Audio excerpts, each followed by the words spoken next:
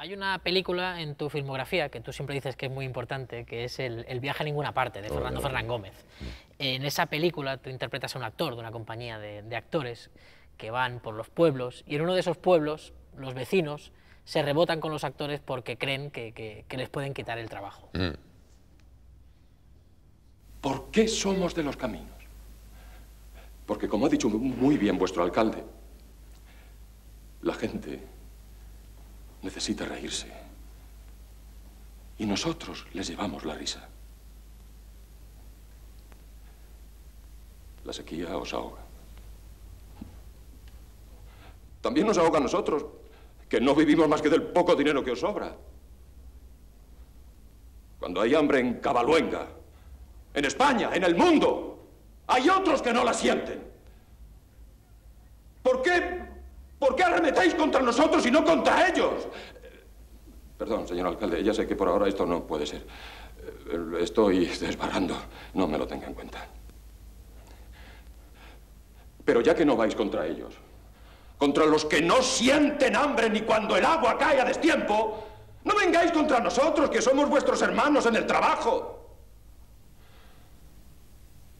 O en la falta de trabajo. Y en la falta de pan. Hermanos, en la falta de trabajo y en la falta de pan.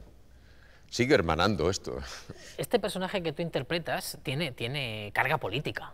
Hmm. Está haciendo un discurso muy político. Eh. ¿Tú crees que es necesario el posicionamiento político de los actores? La necesidad depende de cada uno, ¿no? que es una cosa muy personal. Lo que me parece siniestro es que se niegue esa necesidad, que si uno como ciudadano, yo como actor tengo unos compromisos y hago mis papeles, pero como ciudadano tengo un compromiso con el tiempo que me toca vivir y voy y me manifiesto como puede ser un bombero o un sastre o cualquier hijo de vecino. Pero a veces dicen que los actores lo hacéis más. Lo hacemos más porque ocupamos plataformas, indudablemente, donde la opinión pública tiene noticia de lo que pasa, ¿no? Ocupamos, sí, pero vamos, yo me siento orgullosísimo de las cosas de las que me siento más orgulloso, de haber formado parte de la plataforma del no a la guerra, cuando se armó aquel follón que se organizó con la entrega de los Goya aquel grupo de actores que también os presentasteis en la tribuna del Congreso con camisetas del No a la Guerra. El No a la Guerra, sí, sí, sí. Ruego a los servicios de la Cámara desalojen las tribunas de las personas que están alterando el orden.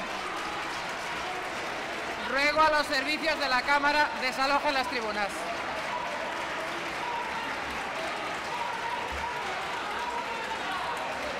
Ruego a los servicios de la Cámara desalojen las tribunas de aquellas personas que con su actitud están alterando el orden de la sesión.